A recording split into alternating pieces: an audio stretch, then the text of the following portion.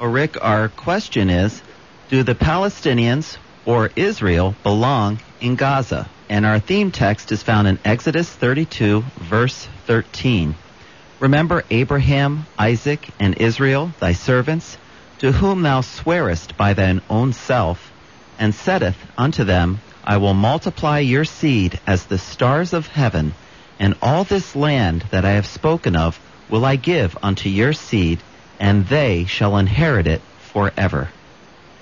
And Jonathan, I am sitting here in Edison, New Jersey, with uh, Ken Rawson, um, and in the first hour we did a. Uh, he gave us a real good, sound history lesson on who the Israelis or who the Jews are, who the Palestinians are, and uh, where Gaza actually belongs in terms of biblical prophecy uh, and actually historical record. And uh, so it's a very fascinating uh, history lesson we've had so far. And folks, if you have a thought on all of this, uh, you're welcome to give us a call at 442 6102. That's 442 6102. And Ken, at the, at the end of the first hour, we had just mentioned, just by way of recapping, that uh, Gaza uh, was part of what was given to Israel uh, in the in the 1940s was lost in their defensive war in 1948 when they became uh, a, a, state, and uh, was regained when they were attacked in 1967. So if it was part of what God gave them originally, it was part of what was given to them back in the 40s, why are they giving it up now? That's the, the, the thing. This inquiring mind wants to know the answer to that one. That's a good question. And uh, I'd like to give a scripture. it shows that really the Lord isn't very happy with uh, giving up of land because it's going in the wrong direction.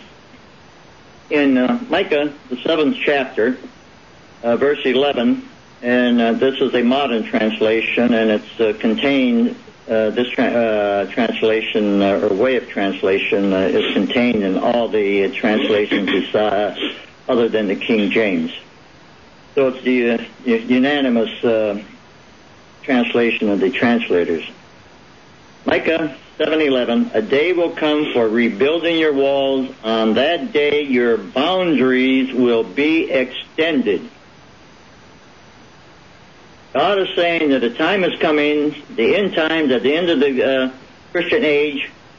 In that day it would be a time for Israel's boundaries to be extended. And what do we see happening? Israel's boundaries are being contracted Something's wrong with that picture.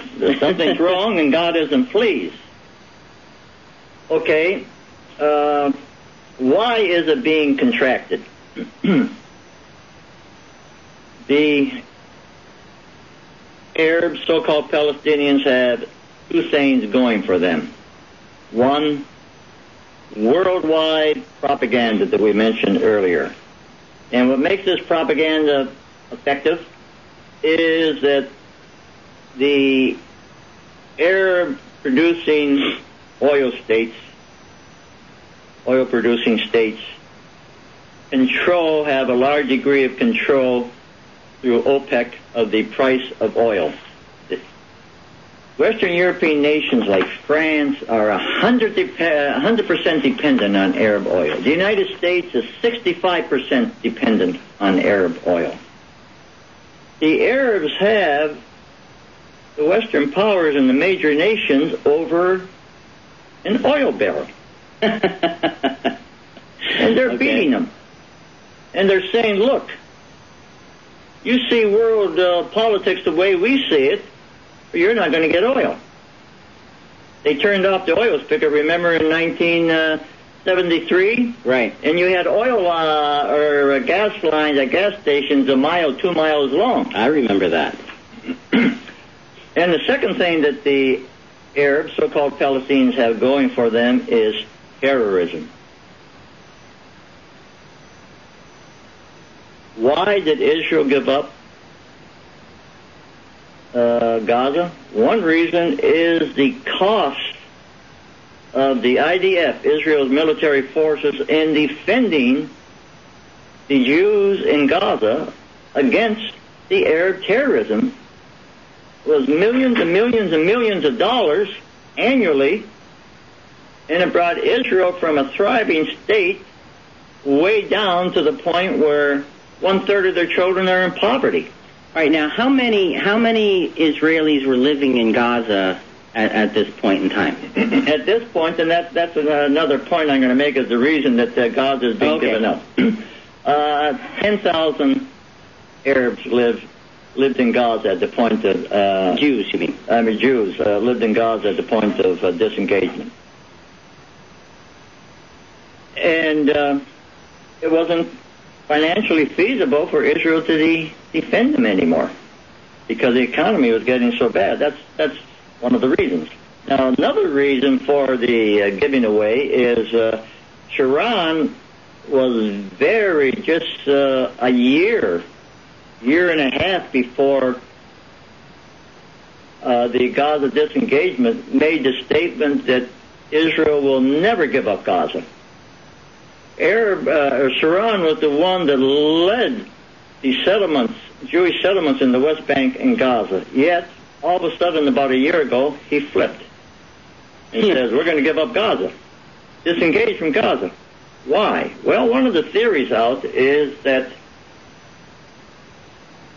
Sharon was up for indictment on three different charges that, that involved actually uh, illegally acquiring, or his family, he and his family illegally acquiring over several million dollars. Now, at that time, a little over a year ago, his chief advisors told him that one way to get away, get, avoid indictment, here he's prime minister, he might be indicted, is to give away Gaza. Why? Because the Israeli judicial system is under the left wing.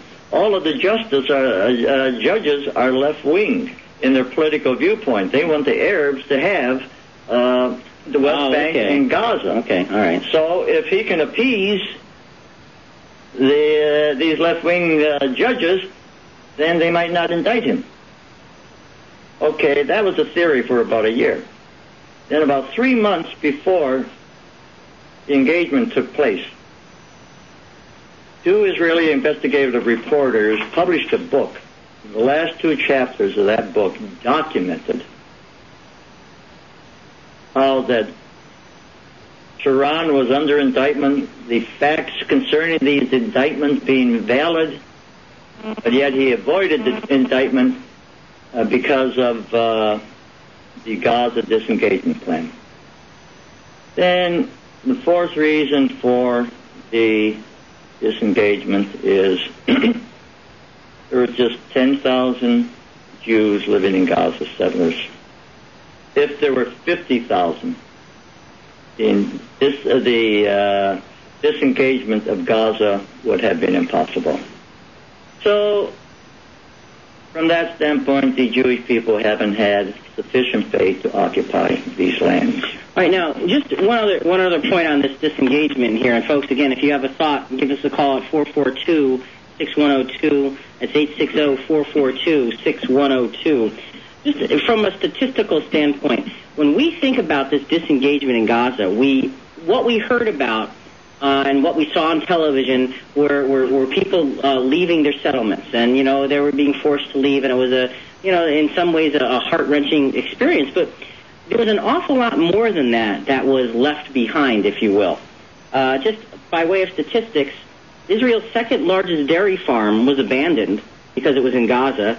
60% of herbs that are exported from Israel come from Gaza. Those industries were gone. 120 million uh, dollars worth of flowers are exported annually from Gaza. That is no longer part of Israel. Uh, those 10,000 people that left now need new employment. 60% of Israel's cherry tomato exports come from Gaza, no longer.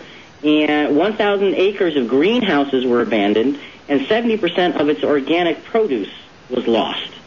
So this disengagement wasn't just people having to uproot and change where they lived, but a, a big chunk of Israel's um, commerce